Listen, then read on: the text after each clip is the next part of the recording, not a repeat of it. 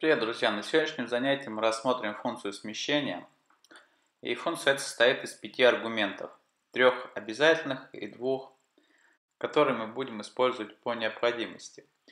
Первый элемент это у нас точка отсчета, от которой у нас будет производиться отсчет по смещениям. В данном случае нам нужно сместиться на 7 строчек вниз и на 2 столбца вправо. Также у нас есть два необязательных аргумента, которые мы будем использовать при импорте массива данных. Это высота и ширина. О них поговорим позднее. Выбираем начальную позицию, от которой у нас будет производиться отчет. Количество строк вниз 7 и отступ вправо 2 столбца. Проверяем. Получается верное значение. На следующем примере у нас точка отсчета находится ниже и левее. В таком случае у нас будут применены отрицательные значения как к столбцам, так и к строкам. То есть в данном случае минус 5 строк и минус 5 столбцов.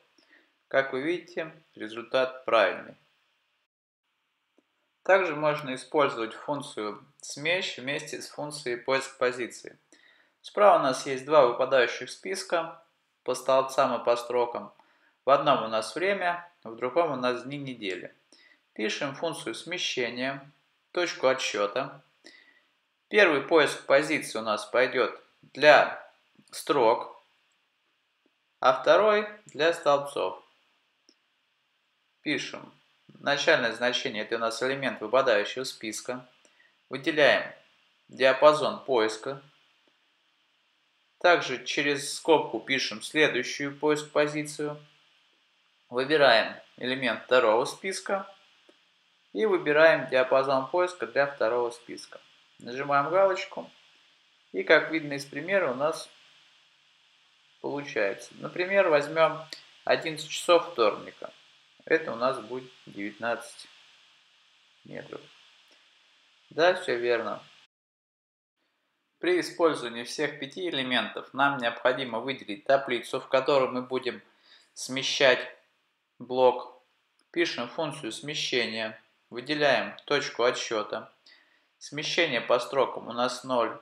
Смещение по столбцам 2. Высота таблицы 13 и ширина 2. Нажимаем Ctrl-Shift-Enter и получаем результат. С вами был Алексей Полянский. Если это видео вам понравилось, поставьте палец вверх. Подписывайтесь на наш канал. Всего доброго. До свидания.